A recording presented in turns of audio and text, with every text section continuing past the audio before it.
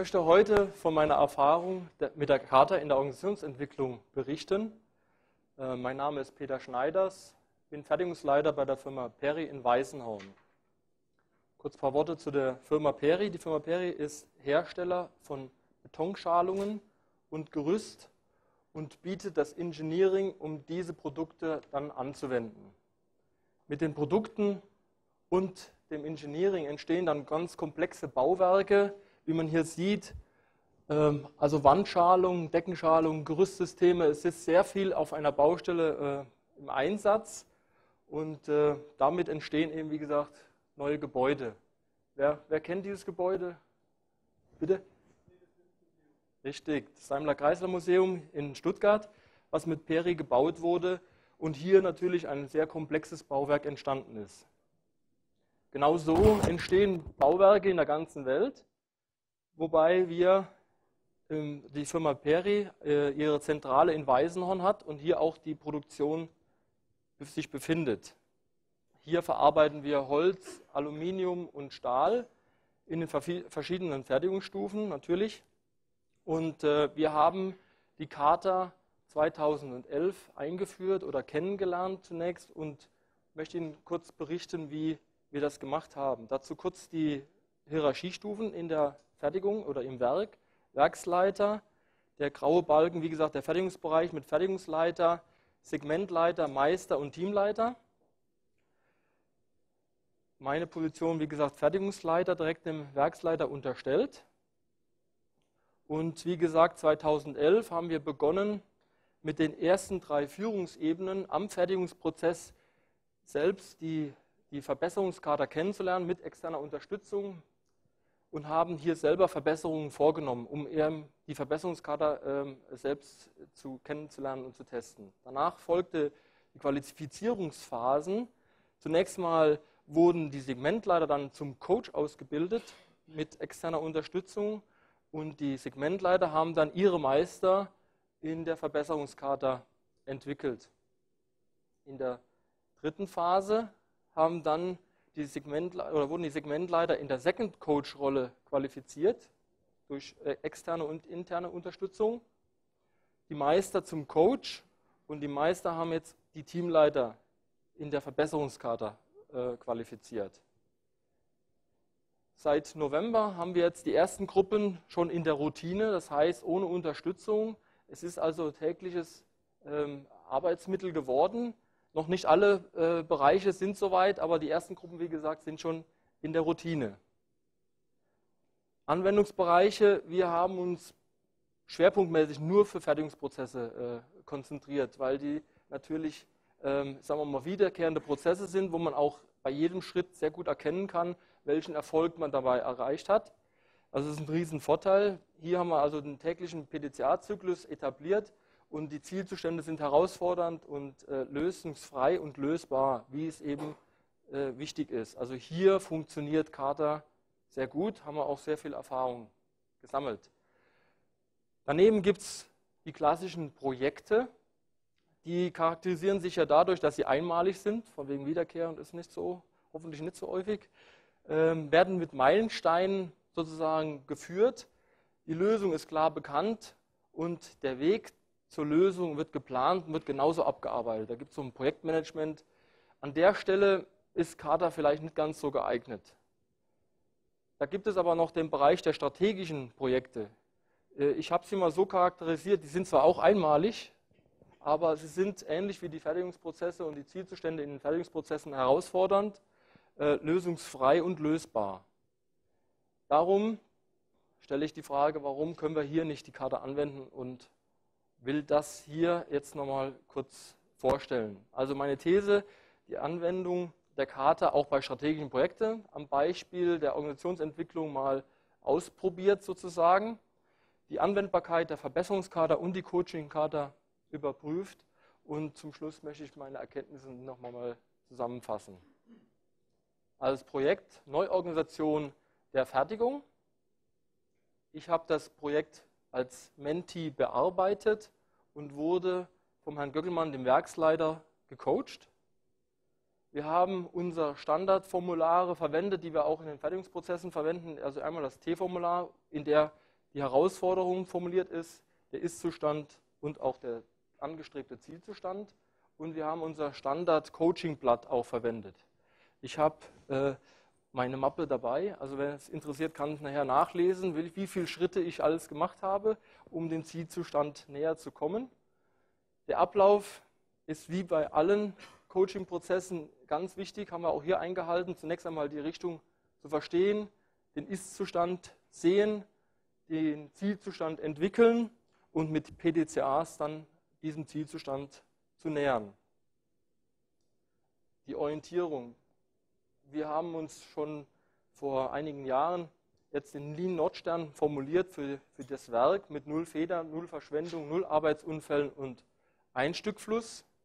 Das haben wir noch mal ein bisschen konkretisiert in der Vision, dass wir 100% Kunden äh, und äh, Flussorientierung in vier Fabriken realisieren wollen. Ähm, aus dieser Vision wiederum haben wir eine Herausforderung formuliert für 2015 eine konsequente Segmentierung, die im Herstellungsprozess unabhängig von anderen Bereichen und durchgängig ist. Wie, sieht das, wie soll das aussehen? Kurze Grafik. Wie gesagt, hier das Gesamtwerk Weißenhorn dargestellt in vier Bereiche, die den Gesamtfertigungsprozess verantworten und äh, ähm, eigenständig unterwegs sind, vom Wareneingang bis zur Übergabe in den Versandbereich nachdem wir die Herausforderung so formuliert hatten, haben wir uns natürlich den Ist-Zustand angeschaut. Momentan haben wir fünf Segmente, die nicht unabhängig und nicht durchgängig sind. Sieht nämlich so aus. Also fünf Segmente. Und gerade, äh, man sieht es sehr deutlich an der Pulverbeschichtungsanlage, die eine Abteilung ist mit zwei Anlagen, aber als eine Einheit die anderen Segmente mit versorgt. So ist der Stahlbau, hier die rote die roten Fertigungsbereiche von der Pulverbeschichtung, die in einem anderen Segment ist, abhängig. Also sie sind nicht unabhängig. Genauso wenig ist das Aluminium, der Aluminiumbereich und auch das Gerüst nicht durchgängig äh, verantwortlich, weil sie auch von anderen abhängen. Nachdem der Zielzustand für uns jetzt klar ist, haben wir einen Zielzustand für 2012 formuliert. Also was wollen wir bis Ende des Jahres erreicht haben? Und das war das Ziel eine konsequente organisatorische Segmentierung. Also wir wollen noch keine Maschinen versetzen und wir wollen noch keine äh, riesen Umbaumaßnahmen machen, sondern rein eine organisatorische Zuordnung in diese Richtung der vier Segmente. Soll so aussehen, genau das gleiche Bild wie bei dem Ist-Zustand, mit dem Unterschied, dass Aluminium und Stahlbau zusammengeführt wird. Damit haben wir von, von fünf auf vier realisiert und die Pulverbeschichtungsabteilung sozusagen aufgeteilt wird mit je einer Anlage im Stahlbau und einer Anlage für das, den Bereich Rahmen.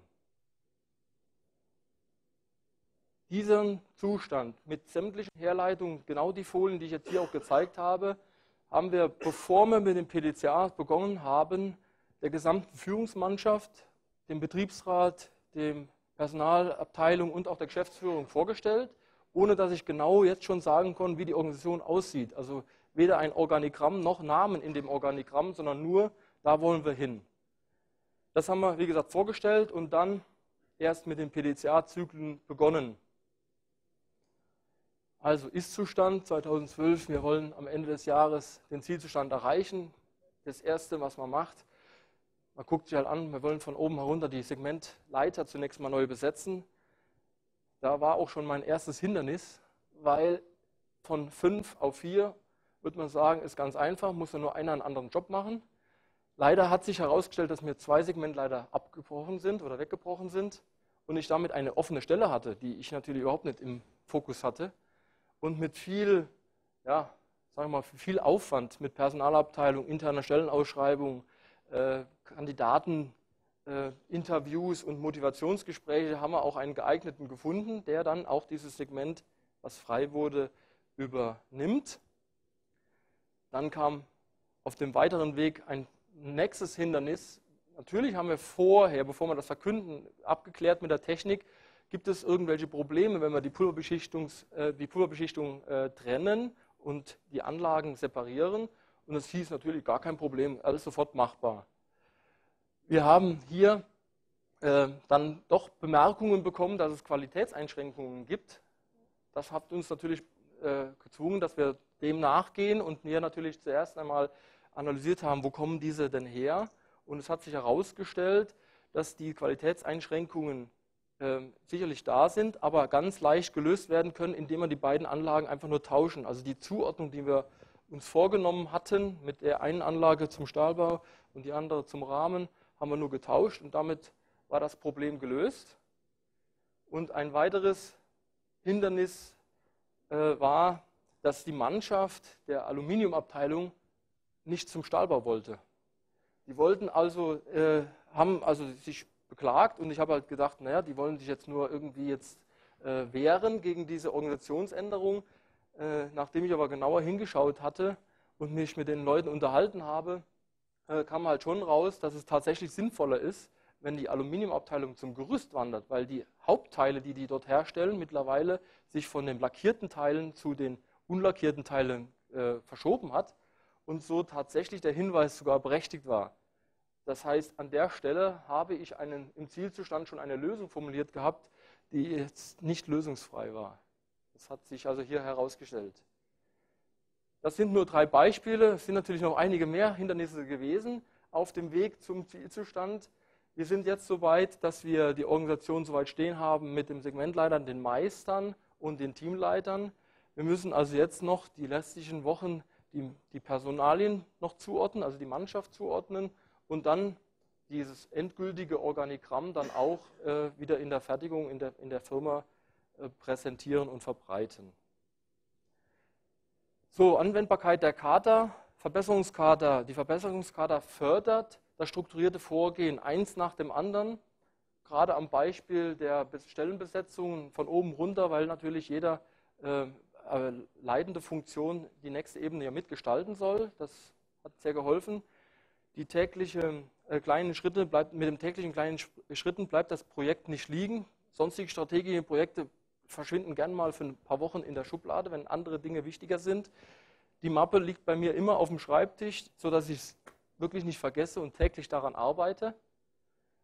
Die schnelle Reaktion auf äh, überraschend auftretende Hindernisse, gerade das Beispiel mit der Qualitätseinschränkung, die hier aufgetreten ist, oder äh, die Vermutung zumindest, konnte konsequent bearbeitet werden und wir haben auch eine Lösung gefunden.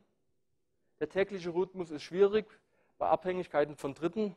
Ja, gerade Personalabteilung, die bis jetzt mit der ganzen Kater-Thematik noch gar keine Erfahrung und gar keine Kenntnisse hat, hat sich schwer getan, einen täglichen Schritt mit mir zu gehen, sondern das hat halt alles ein bisschen länger gedauert. Zur Coaching-Charta. Wie gesagt, ich war ja als Mentee in diesem Projekt, mein, äh, also der Werksleiter war ja mein Coach. Der Vorgesetzte ist täglich informiert und kann Einfluss nehmen. Jeder Schritt, den man geht, wird also auch vom, von seinem Vorgesetzten sozusagen unterstützt und so geht man keinen Irrweg. Äh, die Vermeidung von Steuerkreisen und Steuerkreissitzungen und deren Vorbereitung. Also das ist sehr effizient, weil jeder weiß, wenn man mal drei Leute zusammen an einen Tisch kriegen will, das ist schon schwierig genug. Wenn man es dann endlich geschafft hat, hat man keinen Besprechungsraum. Das kann man hier also vermeiden und äh, dementsprechend ist das sehr effizient. Die Entscheidungen werden leichter getroffen, weil die Herleitung äh, miterlebt wurde.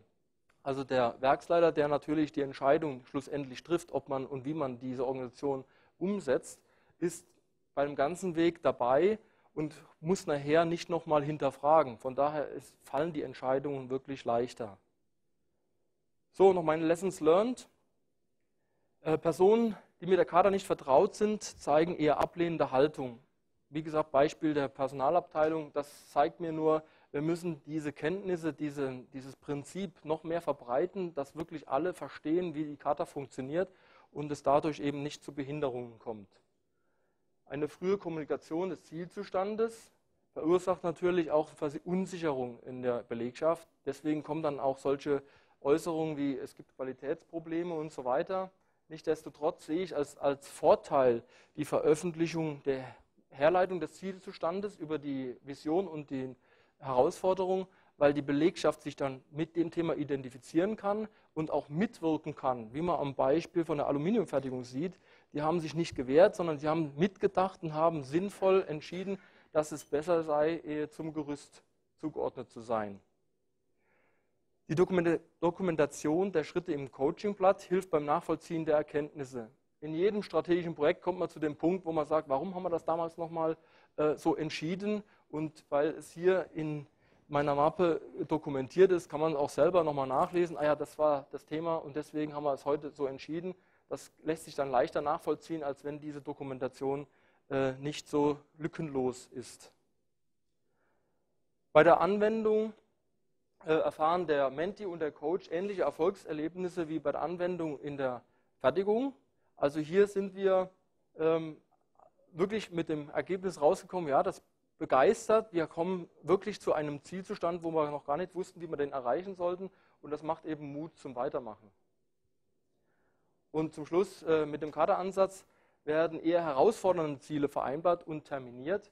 Ansonsten gibt es gerade bei strategischen Projekten oft die Situation, dass man sich überlegt, wir möchten zwar dahin, aber was kann ich denn wirklich realistisch erreichen und bleibt dann eher in der Komfortzone mit dem offenen Ansatz, wir wissen noch nicht, wie wir es erreichen, aber wir, wir legen uns die Latte sehr hoch, geht man also offener mit äh, einem, einem Zielzustand um.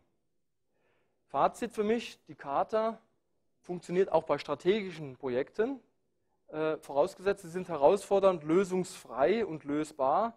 Und wir haben auch schon, oder wir bearbeiten auch schon weitere äh, strategische Projekte mit der Charta und wollen das auch weiterhin etablieren.